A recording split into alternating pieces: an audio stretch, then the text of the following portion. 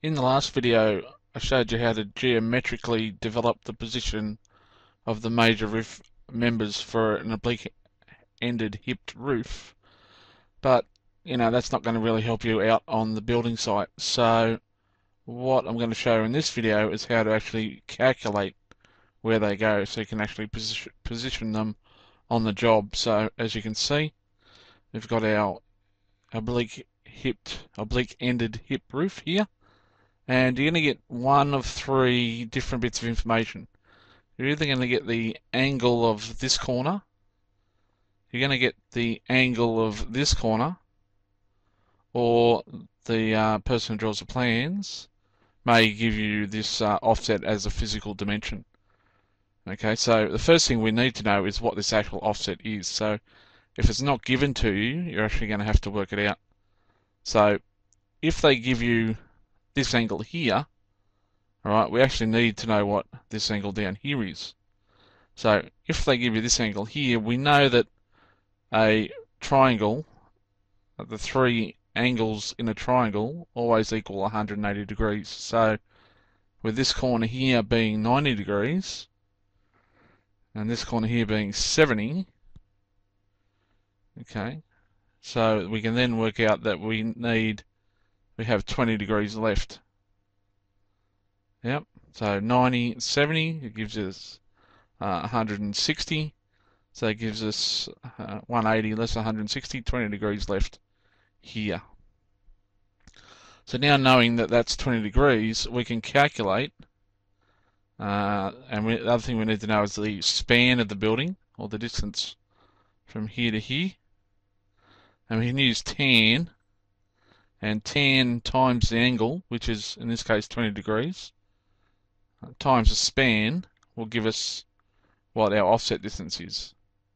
So tan times 20 gives us 0.364 times our span, which is um, 4 meters, gives us a distance of 1.456 from this corner here straight out to this corner here. So that's our offset. So that's the first thing we need to work out. You may be given that. So if you're given it, that's a bonus. Otherwise, you just need to calculate that.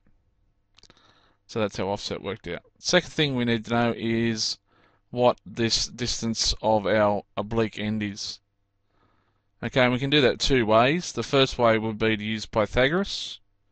So we know what our, our uh, span is, or this distance here, so we can use that.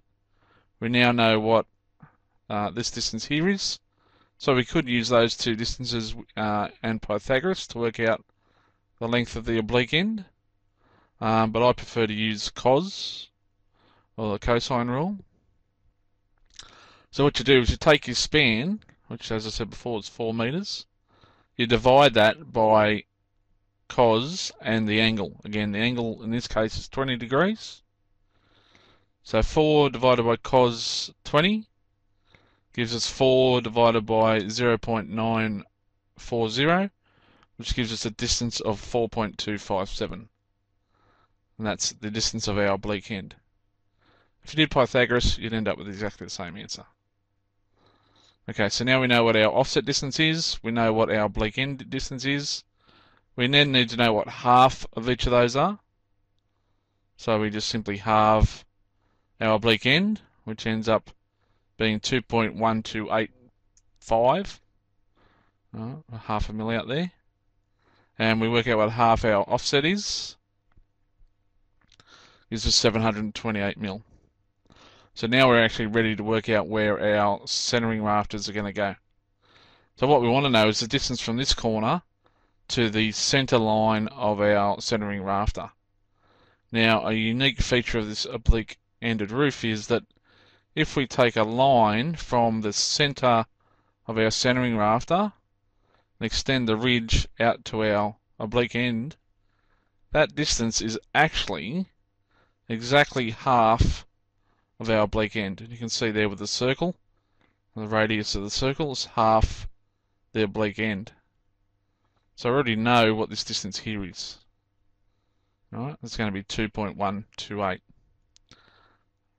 So that's the distance there from center line of our centering rafter to the center of our oblique end is the same as half our oblique end, that distance there. So, to work out distance A, we need to know what half our oblique end is, and then we need to add half our offset.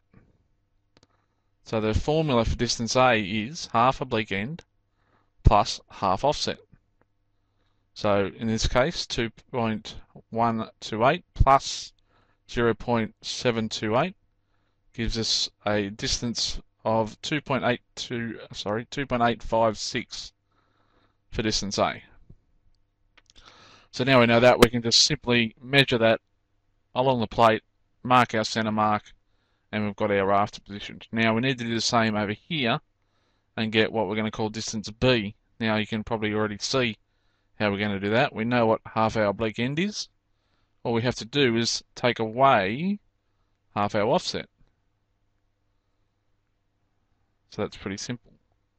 Half the oblique end minus half our offset. So 2.128 minus 0.728 gives us a distance of uh, 1.400 meters. That's distance B. So we now we can position our centering rafter on this side of the roof. That's really simple. Now the main member we need to position is our crown end rafter. And thankfully, it's pretty easy. It just so happens that it's actually the same distance on this side. It's distance A from the corner and on the other side of the roof it's distance B back from this corner. So that makes that pretty easy to work out. So there we go. Now we've got our centering rafters in position. Obviously our ridge is going to run down the center of the roof.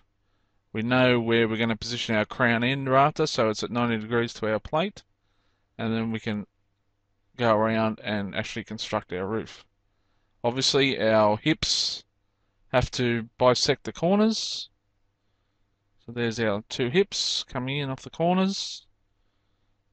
And then we can complete the rest of the roof with our common rafters, our jack rafters. And remember, you're going to have to throw a ceiling frame in there somewhere as well.